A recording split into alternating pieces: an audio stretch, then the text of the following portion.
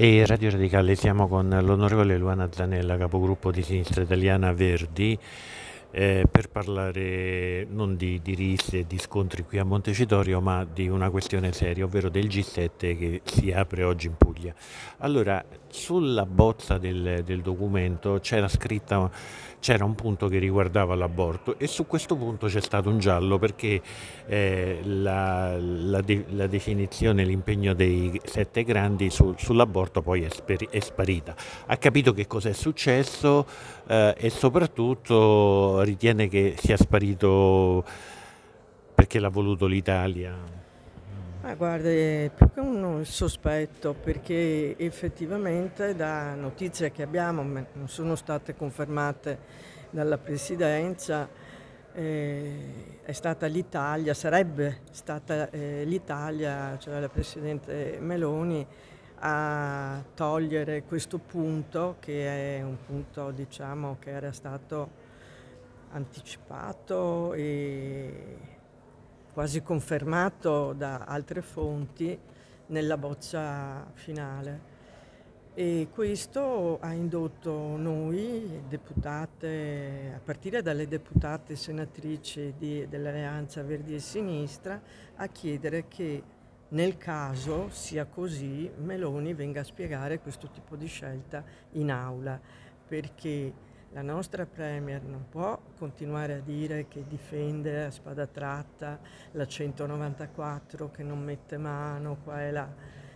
e da una parte e dall'altra a non fare nulla perché l'accesso, parliamo di accesso al servizio eh, di aborto sia garantito effettivamente, cosa che non viene fatta, lo abbiamo denunciato ormai da anni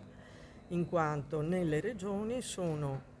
tantissime e tantissime purtroppo le eh, ginecologhe che, non, che, che sono obiettori e obiettrici di coscienza.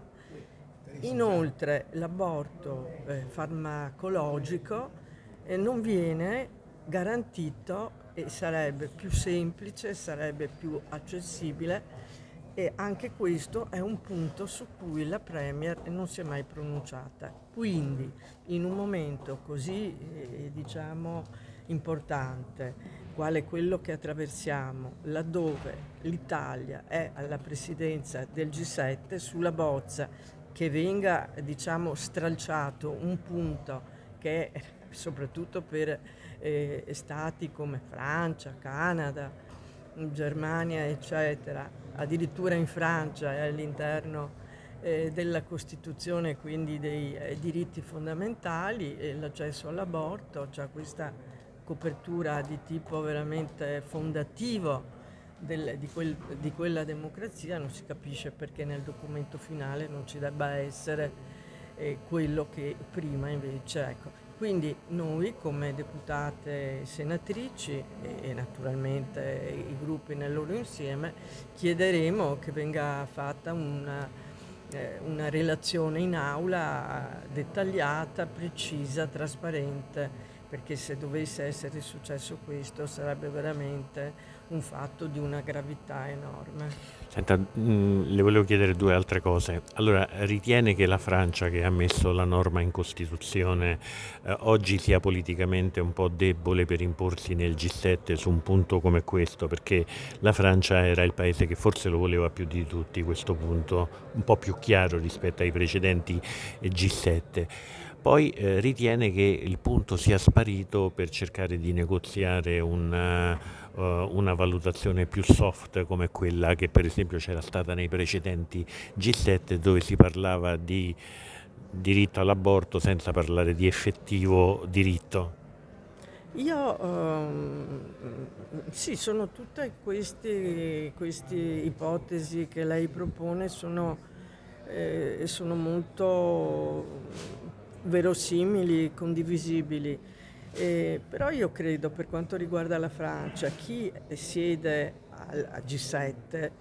è eh, diciamo, legittimato a, e sicuramente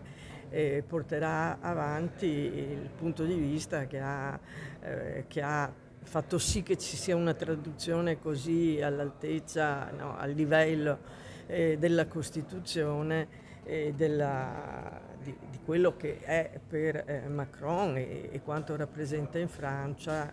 eh, il principio insomma, di autodeterminazione del, della donna. E quindi non credo che... Diciamo che mh, mm, sicuramente le elezioni europee hanno contribuito a, a depotenziare eh, e, depotenziare diciamo, la sicurezza eh, dal punto di vista della rappresentanza di queste forze politiche che siedono e indebolirla, che siedono attorno al tavolo del G7 e paradossalmente diciamo, uno dei punti sacrificabili era quello, guarda caso, che riguarda le donne, non mi meraviglia perché è sempre stato purtroppo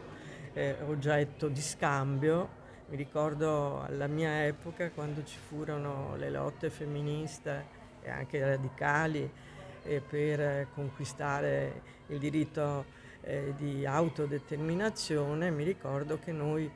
come eh, per le strade dicevamo nessun compromesso sulla pancia delle donne, invece il compromesso sulla pancia delle donne si continua a fare. Eh, quando la formalizzate la richiesta di intervenire la Meloni dopo il G7? E quando abbiamo dati più certi. Certo. E vedrete il documento che esce fuori poi. Eh, ovviamente. Bene, grazie come sempre a Luana Zanella, capogruppo di Sinistra Italiana Verdi a Montecitorio.